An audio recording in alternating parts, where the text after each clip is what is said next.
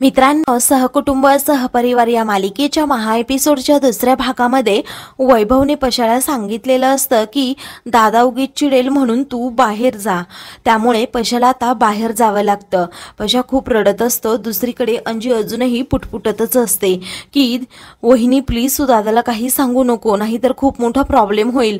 तेवढ्यातच आता तिला पशाचा फोन येतो. तेव्हा पशा आता झालेला घडलेला सगळा प्रकार आता अंजीला सांगतो. अगं अंजे आपली वहिनी बेशुद्ध पडली तिला हॉस्पिटलमध्ये घेऊन आले आहेत. हॉस्पिटलमध्ये तिला ॲडमिट केले हे एक तास आता अंजीला खूप मोठा धक्का बसतो. ती खूप रडू लागते आणि तायडीला काय अचानक झालं असं विचारते. तेव्हा काय माहीत काय झालंय ती हॉस्पिटलमध्येच आहे. तू पण इकडे ये असं पशा म्हणतात. आता मामी विचारत असते अगं अंजे काय झालं? अंजी म्हणते अगं मला बोलू दे ना पशाबरोबर जरा थांब मी सांगते तुला. तेव्हा आता पशा म्हणतो अंजे तू पटकन ये मला पण वहिनीची खूप काळजी वाटते जर काही झालं ना माझ्यामुळे वहिनीला तर आयुष्यात मी मला कधी माफ करू शकत नाही. अंजी म्हणते पशा तू नको काळजी करू. आपल्या वहिनीला काहीही होणार नाहीये. तर अंजी आणि मामी लगेच आता हॉस्पिटलमध्ये जायला निघतात. ते सरिता हे ऑपरेशन थिएटरमध्ये असल्यामुळे सगळेजण खूप काळजीत असतात. सूर्यापासून पशा जरा लांबच उभा असतो कारण सूर्य अजून भडकेल या विचाराने. त्यानंतर आता ऑपरेशन थिएटरची लाईट्स बंद होतात. सगळेजण आता डॉक्टर बाहेर येण्याची वाट पाहत असतात. काही वेळाने आता डॉक्टर बाहेर येतात तर माझ्या सरीला काय झालं असं सूर्य विचारतो. डॉक्टर धक्कादायकच बातमी आता सूर्याला देतात. ती म्हणजे त्यांना ब्रेन हॅमरेज झाला आहे. अतितणावामुळे त्यांच्या मेंदूमध्ये थोडा रक्तस्राव देखील झाला आहे हे ऐकताच आता सूर्याच्या काळजाचा ठोका चुकतो. त्याच्या पायाखालची जमीन सरकते तर बाकी सर्वांना धक्का बसतो. ते म्हणतात की एवढं काय झालं? म्हणजे असं कशामुळे होतं? तेव्हा त्यांना खरंच अतितणाव होता का? असं डॉक्टर विचारतात. तेव्हा सूर्य आता वाकड्या नजरेनेच पशाकडे मागे वळून पाहतो आणि म्हणतो की नाही कसलाच तणाव नव्हता. तर इकडे पशा पूर्णपणे जागीच कोसळतो. तो म्हणतो की हे सगळं माझ्यामुळेच झालं आहे. त्यानंतर कन्साईन फॉर्मवर सही करायला आता डॉक्टर सूर्याला सांगतात. कारण तातडीने ऑपरेशन करावं लागणार असतं. सूर्या विचारतो नक्की हे काय आहे? तर ऑपरेशन करण्याच्या वेळी पेशंट दगावला तर ती आमची जबाबदारी नसेल. तेव्हा सूर्या तर आता पूर्णपणे कोलमडून जातो. तेव्हा आता कोलमडलेल्या सोऱ्याला वैभव धीर देऊन म्हणतो दादा असं काही होणार नाही. त्या फक्त फॉर्मॅलिटीज असतात त्या कंप्लीट कराव्याच लागतात.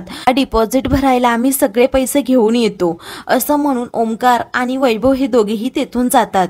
इकडे डॉक्टर सरिताचं ऑपरेशन देखील करायला घेतात. बाहेर सगळेजण खूप टेन्शनमध्ये आता बसलेले असतात. पशानुसता एरझऱ्या घालत असतो. वहिनीचं आता काय होईल? या विचाराने त्याला काहीच सुचत नसतं. नंतर अंजी आणि मामी आता तेथे येतात. तेव्हा आल्यानंतर लगेच सूर्याजवळ जात विचारतात की काय झालं? पण सूर्य आता काहीच सांगायला तयार नसतो. सूर्या म्हणतो की ह्या दोघांना अगोदर इथून पाठवा. माझ्यासाठी एकच काम करा एवढं. मामी म्हणते सूर्याराव प्लीज. तुम्ही माझ्याशी बोला. त्यांच्याशी नाही बोललात ना तरीही चालेल. तेव्हा आता कुणीच काही कुणाला सांगत नाही. ते पाहून मामीलाही जरा टेन्शनच येतं. त्यानंतर आता अंजी पशाजवळ जाते आणि विचारते काय झालं? तर वैभव म्हणतो दादा खूप चिडलाय आता. तुम्ही दोघे खरंच इथून जा. तेव्हा पशा अंजीला काही सुचत नसतं. सरिताला असं सोडून त्यांना जावंसं वाटत नसतं. दुसरीकडे पूजा ही क्षितिजानी सखीला सांभाळत असते. ते दोघेही खरंच खूप रडत असतात. तेव्हा पूजा रडतच म्हणते की अरे तुम्हाला ही सरिता वहिनीची आठवण येते ना? ती लवकरच येईल. तुम्ही नका काळजी करू.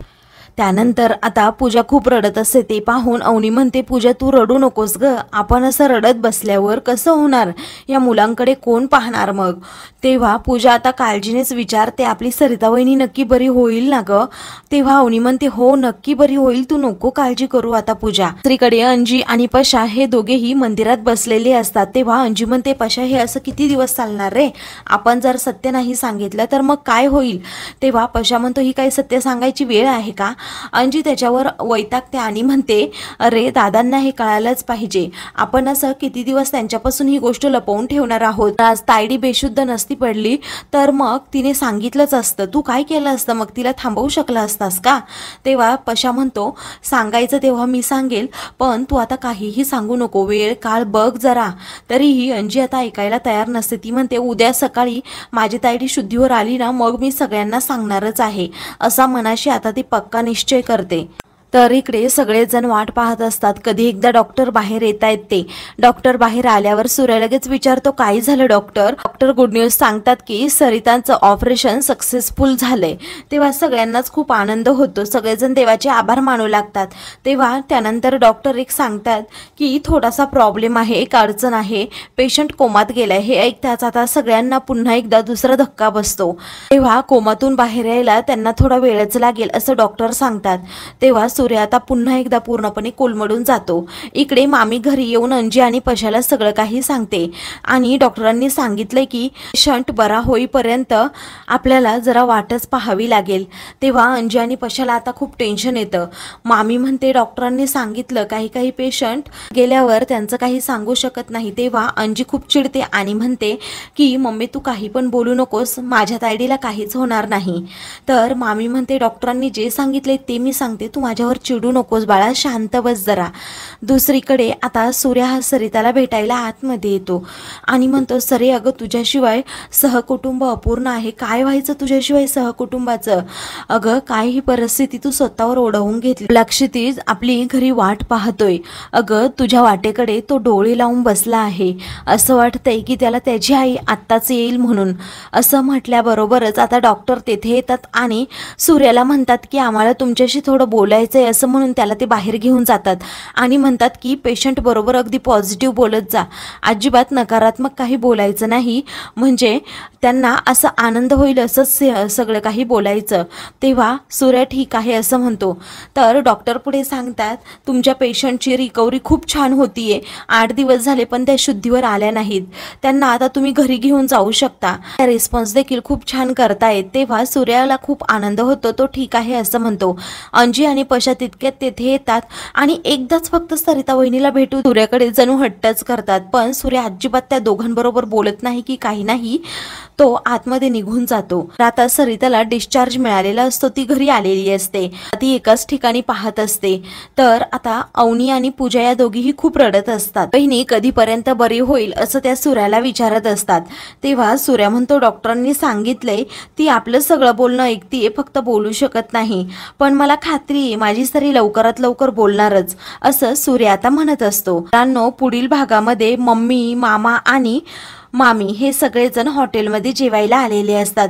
पशा नेमकं त्यांना पाहतो आणि तोंडाभोवती आता तो गमछा गुंडाळतो. त्यामुळे कुणाला समजत नाही. तर आता इकडे अंजी म्हणते मला वेटरला टिप द्यायची होती. असं म्हणून ती त्या वेटरला आता टिप द्यायला जाते. आता ज्याला टिप दिली जाते तो पशा असतो. तेव्हा अंजीला खूप मोठा धक्का बसतो. मामीलाही ती गोष्ट समजते. तेव्हा मामी म्हणते की तू आजपर्यंत खोटं बोललास. असं म्हणून आता पशाच्या कानाखाली मामी मारते. पशाचा आता सगळं पितळ उघडं पडतं. अशाच मालिकेंचे पुढील भाग पाहण्यासाठी चॅनलला सबस्क्राईब